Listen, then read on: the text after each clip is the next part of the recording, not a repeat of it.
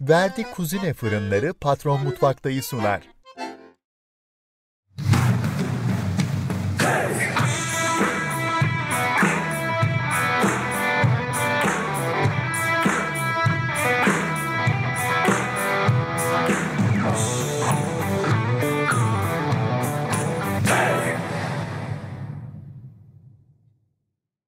Patron Mutfakta programından hepinize merhabalar.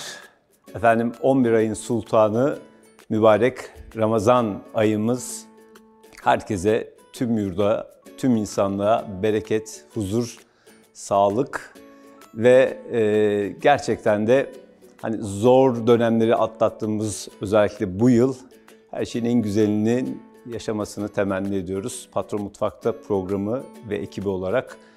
E, tadımız her ne kadar yavaş yavaş böyle yerine gelmeye çalışsa da buruk bir Ramazan ayı e, ve bir Ramazan programı çekeceğiz. İnşallah Rabbim hem tuttuğumuz oruçları hem bu e, aydaki yapılan bütün e, güzellikleri, yardımları, duaları kabul eylesin inşallah. E, çok sevdiğim bir dostum, arkadaşım. E, gerçekten de gastronomi sektöründe ve bu alanda kendisi de bir Hatay, Antakyalı olarak o bölgede önemli bir şef. Ee, bu Ramazan ayında da bizlerle beraber olacak. Sevgili Gökçe, nasılsın, iyi misin? İyiyim, teşekkür ederim Doğukan Bey. Siz nasılsınız? İyiyiz, nasıl olalım? Ülke nasılsa bizler de öyle olmaya, hatta bizler ne kadar iyi olursak da ülkenin o kadar iyi olacağını düşüncesiyle e, işimizde, gücümüzde bir şekilde ayakta durmaya çalışıyoruz ki öyle olmak durumundayız. Evet, yani zor zamanlardan geçtik hepimiz tabii ki Evet. ama yani bir şekilde hayatta tutunmak zorundayız. Ben çok teşekkür ederim bu programda hani bana yer verdiğiniz için. Estağfurullah. Hatay mutfağı zengin bir mutfaktır ama bugün de böyle Denizli mutfağına bir değineceğiz. Bugün, bugün Denizli'den çok kıymetli, yine başarılı, girişimci bir hanımefendi konuğumuz var. Efendim e, sevgili izleyiciler, hanımefendiler, beyefendiler, ekranları başında bizleri izleyen değerli e, artık bizim Patron Mutfakta'nın e, bir ailesi olduğuna inandığımız siz değerli konuklarımız. E, lütfen mutlaka bir gün öncesinden artık Ramazan ayında neler yapılacağı günler öncesinden konuşuluyor değil mi şefim? Yani ama hani olur ya Ege bölgesinde, Denizli'de özellikle bugün bizleri izleyen e, kıymetli dostlara bir menümüz olacak. Öncesinde malzemelerimiz hazırsa şefime sorum geldi mi malzemeler? Evet, malzemelerimiz hazır. Evet. Ee, Çok güzel. hemen Bugün böyle yani çıkaralım. evet. Ee, bugün tatlı yapacağız. İncir güzel. tatlısı. Tatlımızda şekerimizi kullanacağız. Tamam çok güzel. Bir de zaten e, incir ya Ege bölgesine daha çok yetişen ve orada Yani e, evet. e, önemli bir şekilde de dünyaya pazarlanan bir ürün yani. Doğrudur. Özellikle onun için incir E, tatlımızı İzmir, seçtik. Aydın, Denizli, o, o bölgelerde Evet. incirimiz fazlasıyla var. Evet kıymetli izleyiciler, e, gerçekten de bebe ve çocuk tekstili sektöründe yani artık gerçi hanımefendiler erkeklerin güçlü olduğu hemen hemen her sektörde e, varlığını ve başarılarını göstermeye zaten fazlasıyla başladılar. Biz de bundan son derecede gerçekten gurur duyuyoruz ki Patron Mutfakta programının bu yılki mottosu sizler de takip ediyorsunuz. Kadın üretirse dünya üretir. Yani eğer etrafınızda herhangi bir kadın sadece tüketmiyorsa ve üretiyorsa e, demek ki güzel şeyler oluyor demektir. Kendilerini lütfen güçlü alkışlarınızla e, davet etmek istiyorum efendim. Aysu Tekstil'in yönetim kurulu e, başkan vekili, aynı zamanda da kurucularından sevgili Sibel Aysu hanımefendiyi yanıma davet ediyorum. Sibel Hanım buyurun. Merhabalar. Hoş geldiniz. Nasılsınız? iyi misiniz? Sağ olun, Hoş teşekkür geldiniz ederim. Sibel Hanım. Merhaba Gökçen. Hayırlı, Merhaba. Rama- hayırlı Ramazanlar diliyoruz. Teşekkür ederim efendim. Nasılsınız? İyiyim, teşekkür ederim. Her şey yolunda mı? Yani yolunda olmaya çalışıyor. Sizin de belirttiğiniz gibi e, zor bir süreçten geçtik ama bizlerin ayakta durması gerekiyor. Gökçe Hanım burada görmek de ayrıca bu anlamda keyifli. Teşekkür Ee, birlikte iyileşeceğiz. Sözüne hep inanmışımdır. Çok güzel. Ee, böyle devam Ya bu, edeceğiz. se, bu sene tamam e, biraz buruk bir Ramazan geçirmiş olacağız ama dediğim gibi bu bu bu millet çok e, badireler atlattı ve e, çok önemli zor aşamalardan geçti ve daha da çok güçlendi. Evet. E, çünkü biz e, dünyada herhalde yoktur eşi benzeri birbirine bu kadar çok e, dayanışma ve birlik beraberlik içerisinde kenetlenen bir millet.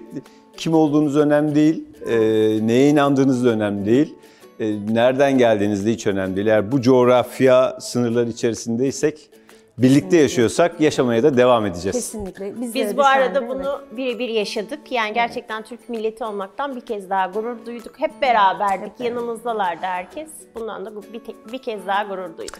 Evet çok güzel. Şimdi efendim e, hem Denizli yöresine ait bir Ramazan menümüz olacak. E, sizin de hakim olduğunuz birlikte de e, bir dayanışma içerisinde artık elinizden geldiği kadar bilmiyorum mutfaklarımız nasıl? Severim. Seversiniz. Severim. Yemeği mi yapmayı mı? İkisini de. İkisini de. evet. Çok güzel. O zaman o zaman fazla vakit kaybetmeden programımızın formatı gereği bugünkü hem ana şefimiz sizsiniz.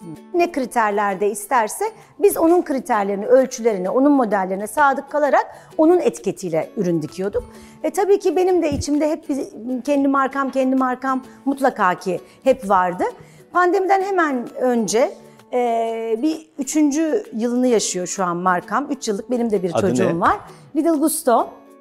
Efendim konuğumuz önlüğünü giydi. Bugünkü programımızın onur konuğu ve ana şefi. Artık şeflerin dayanışması ortaya nasıl bir e, Ramazan menüsü çıkartacak programın sonunda hep beraber göreceğiz. E, yalnız iftar saatini beklemek zorundayız.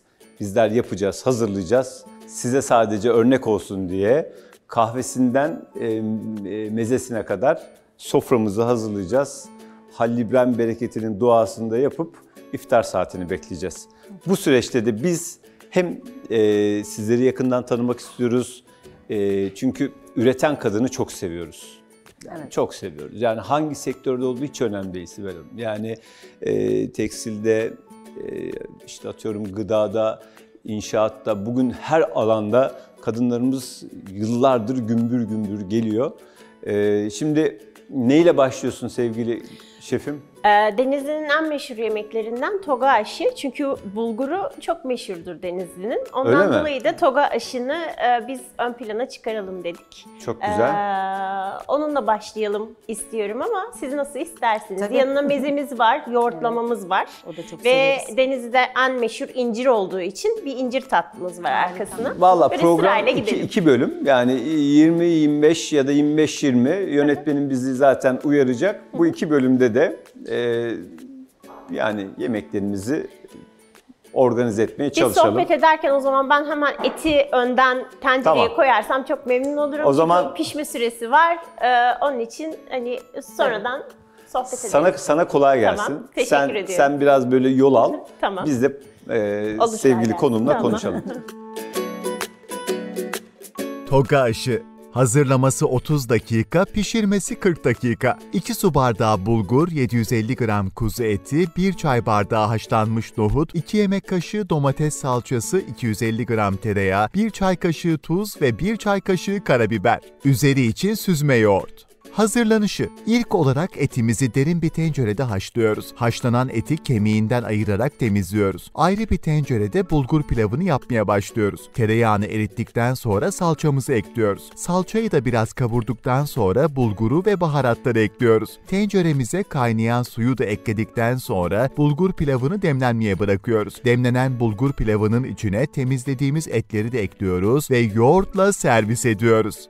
İncir tatlısı. Hazırlanışı 20 dakika, pişirmesi 15 dakika. 500 gram kuru incir ve 250 gram ceviz içi. Şerbeti için 3 bardak su, 2 bardak şeker, 2 çubuk tarçın ve karanfil. Üzeri için 250 gram kaymak. Hazırlanışı. İlk olarak şerbeti hazırlıyoruz ve soğumaya bırakıyoruz. Suda bekleyip yumuşayan incirlerin bıçak yardımıyla aralarını açıyoruz ve cevizleri aralarına koyuyoruz. İncirleri tepsiye diziyoruz. Üzerine şerbeti gezdirip fırında 15 dakika kadar pişiriyoruz ve kaymakla servis ediyoruz. Yoğurtlama. Hazırlaması 15 dakika, pişirmesi 15 dakika. 500 gram patlıcan, 500 gram patates, 300 gram yeşil biber, 3 adet domates, 2 diş sarımsak, 500 gram süzme yoğurt, 1 bardak zeytinyağı ve 1 çay kaşığı tuz. Hazırlanışı. Patlıcan, patates ve yeşil biberleri küp küp doğruyoruz ve kızgın yağda kızartıyoruz. Derin bir kaseye kızarttığımız sebzeleri alıyoruz. Domatesleri rendeleyip tavada kavuruyoruz. Kızarttığımız sebzelerin üzerine sarımsaklı yoğurdu ve domates sosunu ekliyoruz. Efendim şimdi e, sizi tanıyalım. Firmamızın ne zaman, nerede ve ne şekilde kurulduğunu ve neler ürettiğini şöyle kısaca sizden dinleyelim. Buyurun. Ee, öncelikle çok güzel bir giriş yaptınız. Ben de hep inanmışımdır kadının gücüne. Kadının bir bereketi olduğuna da inanmışımdır ve ortama farklı bir vizyon veya farklı bir bakış açısı kattığına da çok inanmışımdır. O yüzden de kadının e, dahil olduğu işlerin bir tık daha farklı yere gittiğine hep böyle bir kadın olduğum için belki de düşünüyorumdur. Ee, bizim Biz de düşünüyoruz. tamam, hemfikiriz. Çok güzel. Ee, Aysu Tekstil 1999 yılında kuruldu. Deniz'de kuruldu. Malum Denizli bizim yöremiz tekstil yöresidir en başta. Kaç kuşak Denizlisinin? Denizli'den yani. Ee, Ben hep Denizliliydim. Hep. Sadece üniversite için e, ayrıldım. Ankara'ya baba- gittim. Annem, babam, büyüklerim hep Denizli'deydik biz. Denizli'ye gelin de gitmedim. Yani zaten Denizli'nin çocuğuydum. Çok güzel. Ee, ama e, bir ticari bir aileden gelmedim. Memur, öğretmen eğitimli bir aileden geldim. Biz e, 99 yılında Aysu Tekstil kuruldu. Kayınvalidem ve kayınpederimin ilk olarak kurduğu bir firmadır. Ha, öyle. Ama hemen 2000 yılında, bir yıl sonra eşim şirkete dahil oluyor. Sonrasında hemen sonrasında bizim bir e, tanışıklığımız ve evlilik sürecimiz başlıyor. O süreçte de ben öğretmendim zaten. E, öğretmen olarak iş çalışma hayatına Çok güzel. başladım. Sonra e, denizde herkes havlu bornoz yapıyor. Biz e, biz de tekstilin bir ucundan tutacağız ama herkesin yaptığı bir havlu bornoz içine girmeyelim. Biz bir başka dalda ilerleyelim ama tekstil olsun özü diye düşünürken dedik ki bu arada Yani e, herkesin yaptığı bir şeyi yapmayalım diyeli bir 23 sene oldu yani. Oldu. O yıllarda bunu o yıllarda düşündük onu yani. düşündük. Çünkü çok, çok güzel. e, annem babam diyeyim, e, kayınvalidem kayınpederim artık ayrılmıştı işten. Eşim ve ben devraldık 2000 yıllarında. Çünkü bunun için söylüyorum. Biz en çok e, çok özür dilerim. Yani bur- burada bütün üreten e, dostlarıma, e, iş insanlarına birinin yaptığı işi yapmayı çok seviyoruz. Çok seviyoruz, evet. Haz alabiliriz Yapmayalım oradan. bunu çok fazla evet. yani. Oradan böyle bir e, ahenkler gelebilir bize, bir şey, esinlenebiliriz ama aynı şeyi yapıp durmak bizi ileriye götürmüyor. Yani Ayşe bu işten iyi para kazanıyor, çok iyi yapıyor. Evet. Hemen Ayşe'nin işini Ya, yapalım. Evet, o, o zaman Ayşe'ye de zarar, bana da zarar aslında. Ee, biz dedik ki farklı bir şey yapalım. Tabii bu esnada da e, şirketin e, çok küçücük bir şirketti o zaman. Biz devreye girdik, e, Onur ve ben.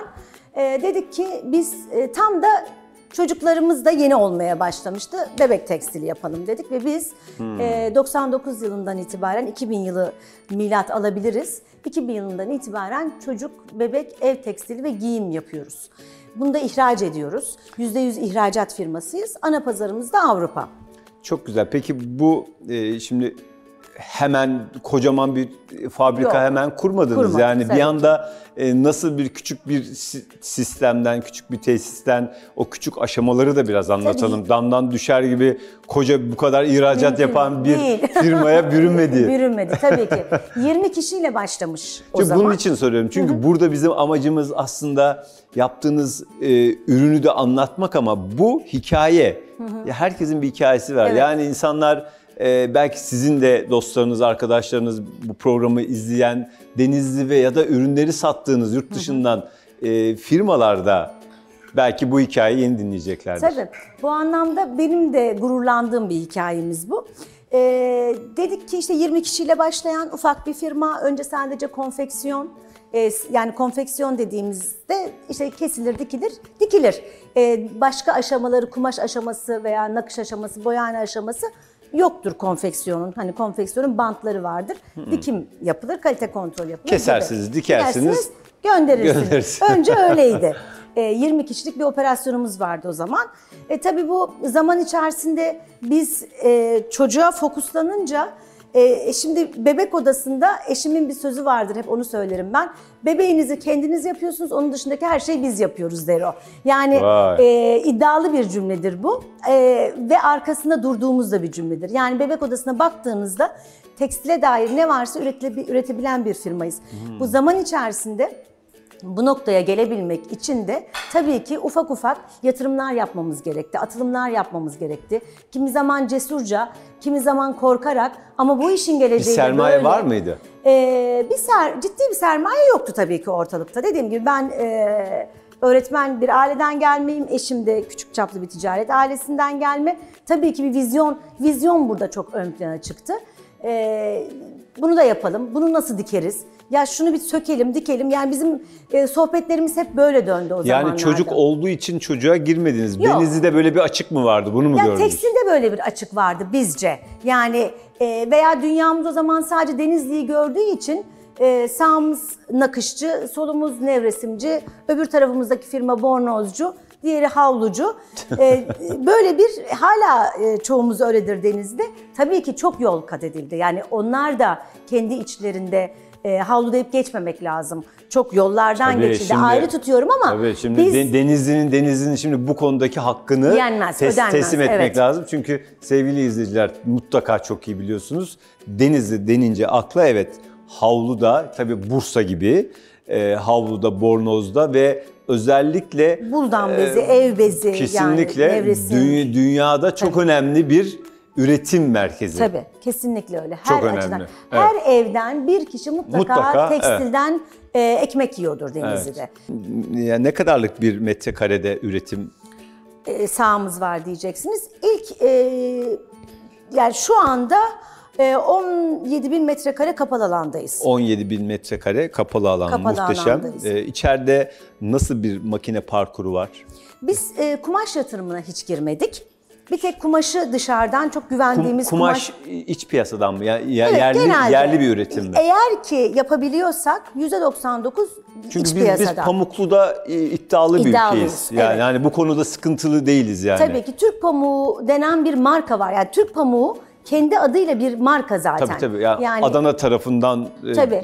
daha Ee, çok kumaşlar herhalde geliyor. Evet, Maraş, Maraş tarafı, yöresinden, evet. oralarda iplikçilerimiz var. Tabii. Oralardan çok e, gelir. O kadar hızlı Girdik. e, girdik ve bakın Yemek- yönetmenimden ilk uyarı geldi son 5 dakika diye. Oo. O nasıl geçti değil mi? Fark etmedik bile. Aa, Ama yani ben tebrik ediyorum. İlk, ilk başta bir eş dayanışması gördüm ben burada. Yani Öyle, ben ben o evet. anlamda gerçekten bu, bu çok takdir edilecek bir Şimdi şeydir. ne, ne yapıyorsun? Evet, e, e, şu an toga pilavımızı yapalım artık. Yani tereyağıyla Evet. başlıyoruz. Olur. Tereyağının dışında ben etimi temizledim. Evet. Hemen altını da açıyorum. Ee, buradan da anneme küçük bir e, sevgi göndermek istiyorum ben. Evet. Annemin en meşhur yemeği bulgur pilavıdır. Ee, biz buna bulgur aşı deriz, bulgur pilavı deriz. İşte e, toga aşı denir Tavas yöresinde. Tavas da bir ilçemiz. Evet. O yüzden o çok güzel yapar. Ee, Gökçe Hanım da eminim birlikte de çok güzel Çok yapacağız. sağ olun. Özellikle yağlı et kullanılıyor Evet, e, evet. diye biliyorum. Onun için de ben de dana incik, e, dana diyorum kuzu incik kullanmayı tercih ettim. Doğru bir tercih. Böyle bir tavamıza alalım artık etimizi. Süper. O zaman şöyle yaparım. Siz bu e, eti yani yavaş yavaş kavurun ve burada ben reklama gitmek zorundayım. Siz de burada bir şeyler yaparsanız Olur, zaten olur. çekim devam eder ama Olur. ben reklama girmek zorundayım. olur. E, sonrasında reklamlardan sonra da biz sohbetimize devam etmiş olacağız. Kıymetli izleyiciler, e, değerli konuklar, hanımefendiler, beyefendiler işte Denizli'den e, başarılı, gerçekten de aslında ne yaptığını çok iyi bilen, bu çok önemli. E, emin adımlarla da büyümeye devam eden e, Sibel Hanım'ın hikayesini, markasının hikayesini dinlemeye ikinci bölümde devam edeceğiz. Lütfen bizlerden ayrılmayın. Patron Mutfak'ta programından tekrar merhabalar. İkinci bölümde tekrar karşınızdayız değerli izleyiciler. Aysu Tekstil Yönetim Kurulu Başkan Vekili, aynı zamanda kurucularından sevgili Sibel Aysu Hanım, çocuk tekstili ve bebe tekstilinde e, gördüğünüz gibi 99 yılı itibariyle başladığı başarı hikayesinde bugün kaç ülkeye ihracat yapıyoruz? Ee, tüm Avrupa ülkeleri, e, Amerika, İngiltere, kaç ülke? Hiç ülke bazında saymadım. Şimdi böyle ülke, ülke deyince ama böyle.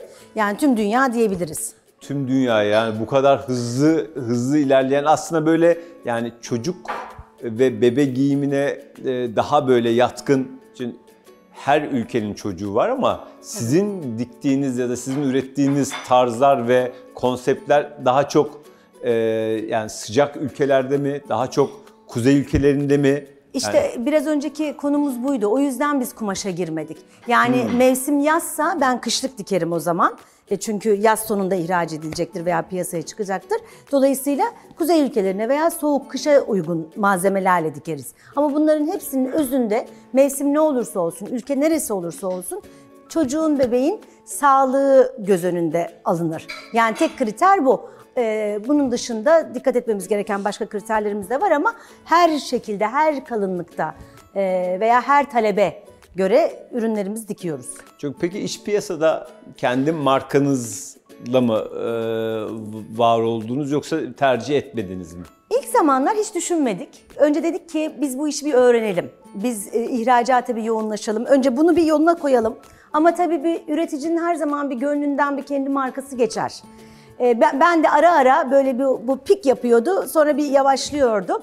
Çok E, özür dilerim. E, Bu Avrupa'da ve dünyada ihracatını yaptığınız e, ülkelerin kendi markalarıyla mı üretiyorsunuz? Evet, evet. Bir, bir nevi Size size diyor ki atıyorum benim markam bu kardeşim bana işte atıyorum 10 bin adet şundan, Evet. 50 bin adet şundan Evet. ama kendi markalarıyla. Evet. Çok evet, güzel. aynen öyle. Yani ne isterse, ne kriterlerde isterse biz onun kriterlerini, ölçülerini, onun modellerine sadık kalarak onun etiketiyle ürün dikiyorduk. E tabii ki benim de içimde hep bir, kendi markam, kendi markam mutlaka ki hep vardı. Pandemiden hemen önce e, bir üçüncü yılını yaşıyor şu an markam. Üç yıllık benim de bir Adı çocuğum ne? var. Little Gusto. E, Gusto kelimesini çok araştırdım. İsmi üzerine çok düşündüm markamın. Gusto sadece mutfakta e, değil aslında. Asıl köken İtalyan bir kelimedir Gusto'nun. İtalyan Evet. müşterilerime, arkadaşlarıma sordum. Dedi ki hayır, zevk sahibi. Biz eski Türkçemizde şöyle bir cümle de vardır. Gustosu çok güzel bir insan. Gustosu çok yüksek. Yani doğru, doğru. Bu Do- kelimeyi hatırlıyorum. hatırlıyorsunuzdur. Yani e, gusto her şekilde zevk sahibi demek.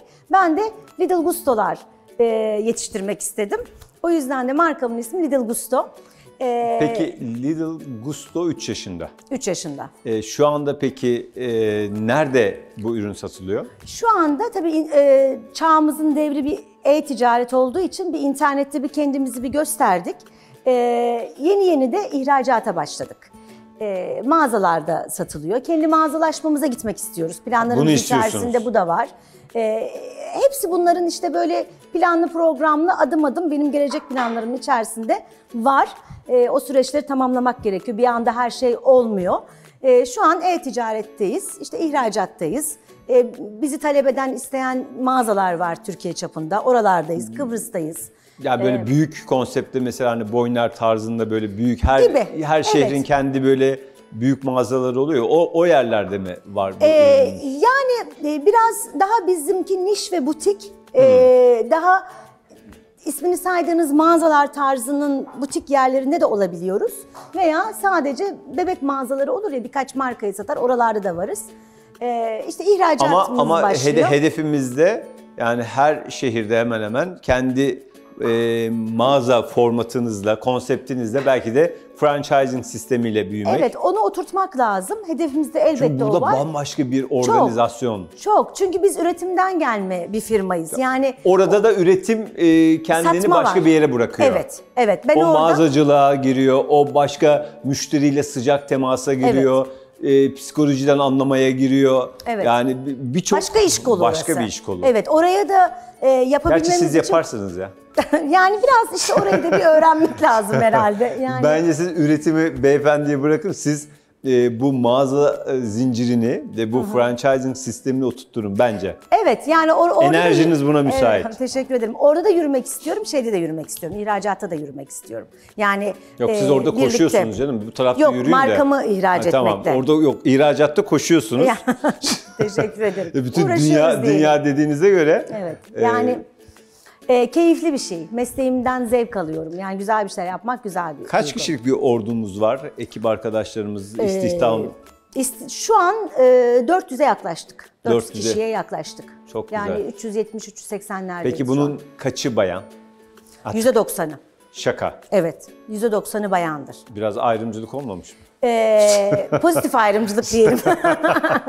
yani e, aslında Bunu tabii latife yapıyorum Tabii yani ki. yüzde yüzü keşke bayan olsa ama Evet. hani şimdi onlar e, şöyle tam tersini söylemiş olsalardı ve bu cümleyi kullanmasaydım da bana izleyicilerim çok dikkatli izliyorlar. Evet. E, Doğukan Bey yani hani bizi niye savunmadın orada bak azıcık kadın çalışıyormuş derler. yani. derlerdi. Tabii ki. Yani benim- Aynısını beyler beyler için de söyledim. Bak ben söyledim yani.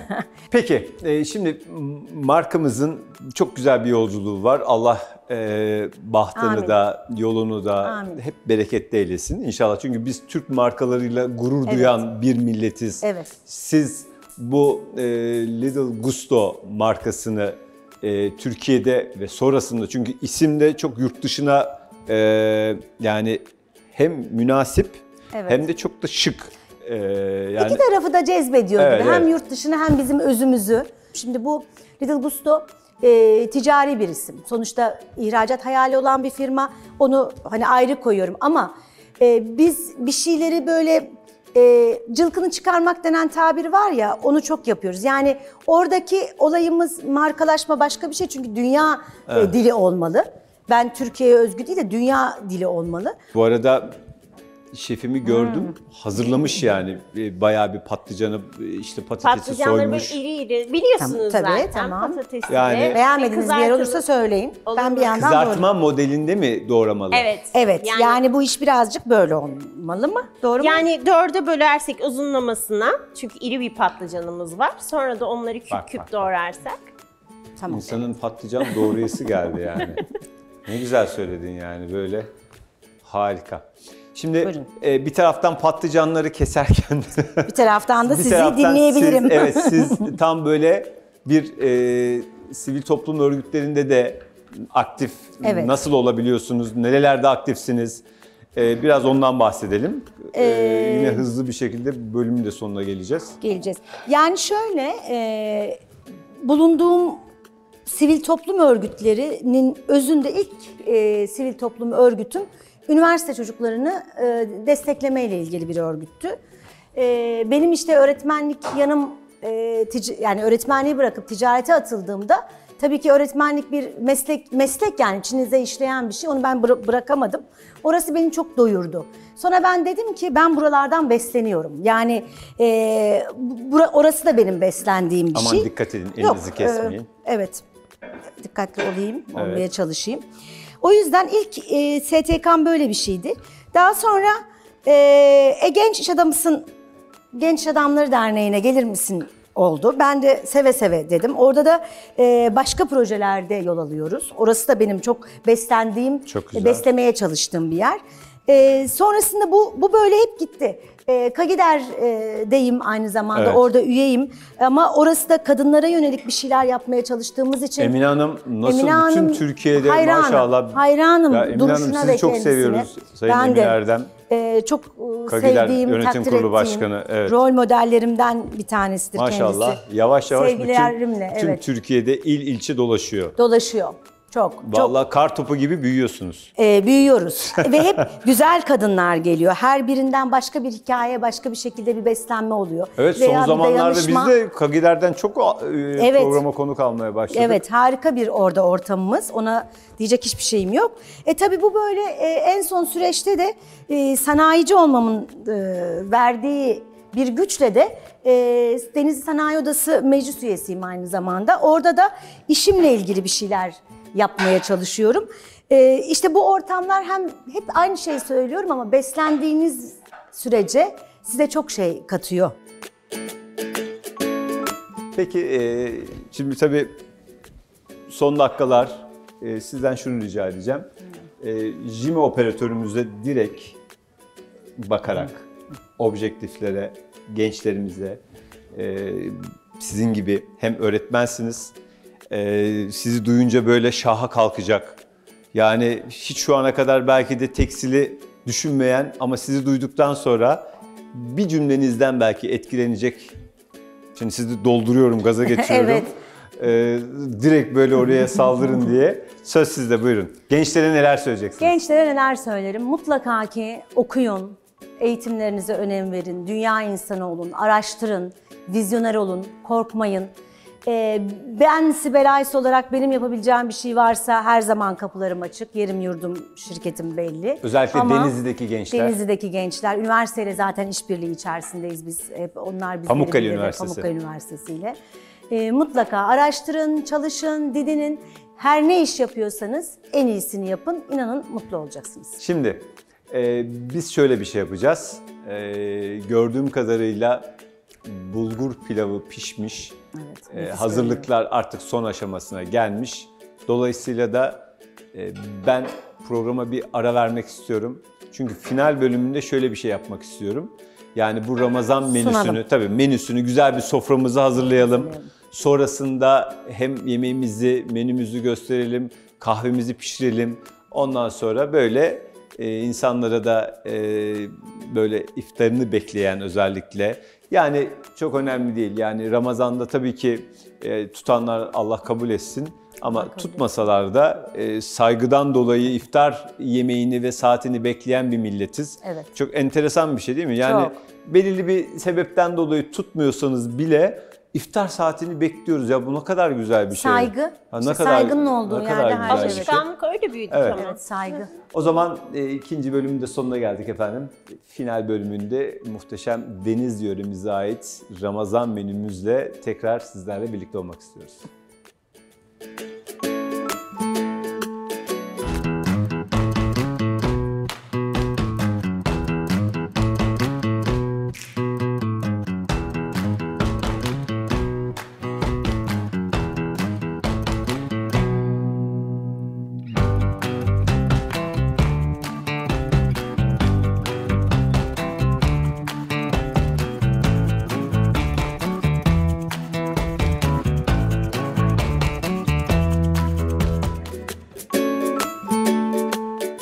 Efendim, final bölümünde bu muhteşem Denizli yöresine ait olan Ramazan menümüzü e, tabii ki duayla ve bereketli bekliyor olacağız ezan sesini. E, bütün yurdumuzda ya da bütün dünyada e, oruç tutan, duasını yapan, yemeğini hazırlayan, sofrasını hazırlayan, e, her nerede de güzel Ramazan yaşanıyorsa Allah kabul etsin. Hisseden. Hisseden, evet. Değil mi? Nerede. Maddi manevi herkesin oruçları kabul olsun. olsun. E, tabii ki bizler temsili bir sofra kuruyoruz. E, temsili bir kahvemizi de pişiriyoruz bu arada. Ben e, kahveyi de pişirelim değil mi? Siz Kahveler sizden olsun, yemekler bizden. Tamam. Evet evet. Yemekler sizden. Güzel. Buradan her şeyi temsili bir şekilde izleyicilerimize aktarıyoruz. Çok sık kahve içer misiniz normalde? Sever Evet, misiniz severim. Türk kahvesini. Severim, zevkle içerim. Ee, bugün stüdyomuzda bir kameraman fazla. Fark ettiniz mi? Farkındayım. Yani beyefendi de kamera arkası yapıyor. Onur evet, Bey. evet. Eşiniz de Denizli'den gelmiş sizleri görmeye. Her zaman destekçim. Her zaman beraber misiniz? Beraberiz. Çok güzel ya. Hiç ayrılmaz mısınız? Ee, ayrılmamayı tercih ediyoruz. Ayrılmamak için elimizden geleni yapıyoruz. Ha bunun için mücadele ediyorsunuz ya. Ee, şartları ona göre uyarlıyoruz. Çok güzel, harika. Ee, şefim, senden de biraz böyle tabii programın girişinde çok konuşamadık. Ee, sen neler yapıyorsun? Kaç yıllık bu sektörün içerisindesin? Ben kahveyi pişirene kadar. Çünkü diyoruz ki Türk kahvesinin hatrı 40 yıllık değil, Evet. ömürlük. Bizde de Al. çok önemlidir. Antakya kahvemiz vardır bizim de. Çifte kavrulmuş. Aman Ee, yesinler çifte Böyle kavrulmuş. özellikle işte iftar sofrasında hemen kalkar kalkmaz ilk içilen köpüksüz kahvedir bizimki. İyi kaynamış olması lazım. Bir de bayramda gelen Köpüksüz. e, köpüksüz, köpüklü bizde içilmez. Ondan sonra da gelen her misafirimize İşte o, o kahvemizden ikram ederiz. Arkasında işte bayram kömbemiz vardır. Kömbemizden ikram Hmm, çok güzel ederiz. olur o. Her evde de o kömbe vardır. Evet. Kaç yıllık Bakalım bu ben sektörün içerisindesin? Ben Gökçe Eker. Ee, Hatay Gastronomi ve Mutfak Sanatları Derneği Başkanıyım. Ee, yaklaşık bir 7 senedir bu sektörün içindeyim. 3 senedir de tam pandemi ortasında kendi iş yerimi açmıştım. Ee, butik bir işletmeydi ama işte bakalım e, depremden dolayı iş yerimi de kaybettim. Şu an buradayım. Burada olmaktan da mutluyum. Antakya'ya da geri dönmek istiyoruz hepimiz gibi. Öyle bakalım. Afiyet olsun. Antakya, Ramazanımız- Antakya bizim, Adana bizim, Maraş Aynen. bizim, hepsi Aynen. bizim yani. Hiç Aynen. şimdi moralleri Evet. e, morallerimizi hiç böyle aşağıya e, Yok, düşürmeyelim. Evet. evet. Şimdi kahveler pişiyor. Son olarak söylemek istediğiniz e, neler var? Bir cümleyle de onu sormadan geçmeyelim. Yani hani klişe ama e, eskiden Ramazanlar Denizli'de e, horozların ötmesiyle e, oruçlar açılır ya da e, namaza kalkılır. Tabii yani o çocukluğu... Vakitsiz vakitsiz öten horozun da kafası mı kesilirmiş? Öyleymiş ama o çok başka bir mevzu. hani onun üzerine çok konuşulur. Tabii ki çocukluğumuzun Ramazanları hep böyle konuşulur. Çocukluk Ramazanları diye ama bizim de içimizde o güzel günler. O sabah kalkıp da o taze ekmek kokularıyla e, Ramazan için, e, e, oruç tutabilmek için uyandığımız sahur vakti. Tabii ki hep anılarda güzel. Akşamları toplaşılıp birlikte yenen O yemekler. devam ediyor mu? Ediyor. Anadolu'da Ediyor. ediyor değil mi? Ediyor. Evet. Yani yine o iftar sofraları, Evet. o sahur sofraları. Bence keyfi de orada zaten. Birlikte açabilmek veya birlikte başlayabilmek. Peki e, nasıl buldunuz? Annenizin şeyi var mı? Görselliği var mı? Şimdi yemek yok. Ee, evet, e, biraz e, eğer bekleyebilirsem e, iftarı hemen tadına bakabilirim ama e, gayet görüntü güzel. Görüntüde her şey çok güzel. Şimdi şöyle yapalım. E, tabii ki iftarı burada yapıp e, Denizli'ye öyle yola çıkın. Tamam. Teşekkür Yani ederim. siz böyle Ben de tadına bakmadan gitmek istemiyorum. efendim kahvelerimizi de pişirdik. Şimdi şöyle söyleyeyim sevgili izleyiciler. Ee, tabii ki hani her evin bir geleneği vardır.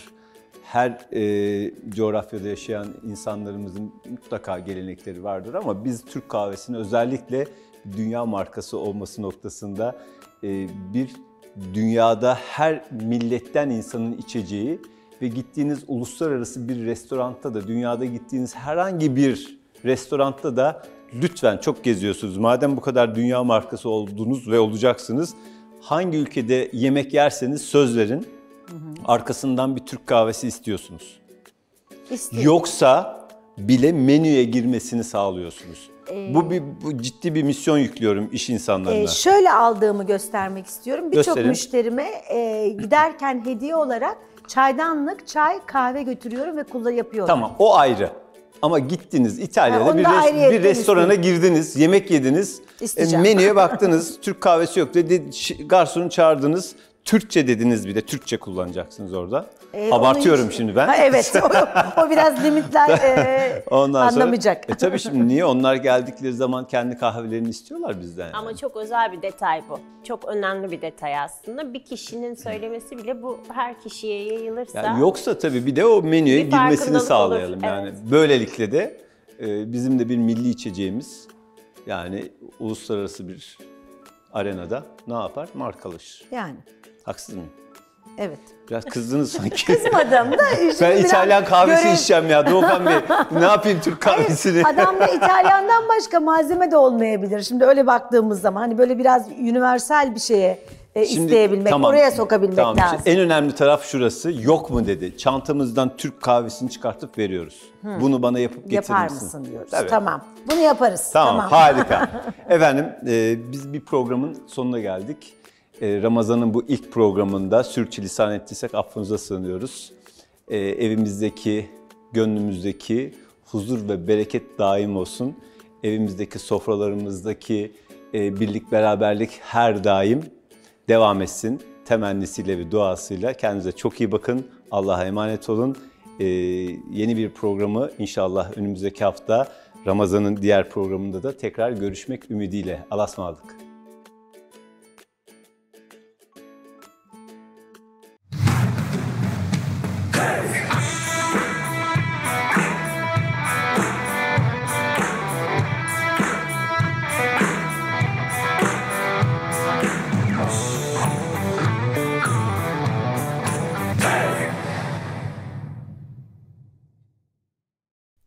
Verdi Kuzine Fırınları Patron Mutfakta'yı sundu.